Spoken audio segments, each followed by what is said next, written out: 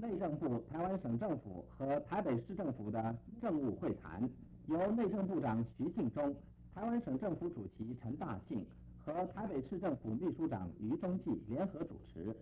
徐部长在会中致辞，希望参加的人员仍本以往合作、坦诚互谅的态度，对当前的若干问题谋求合理的解决。会中接着就内政部、省政府和市政府提出的十二个提案，分别加以提出讨论。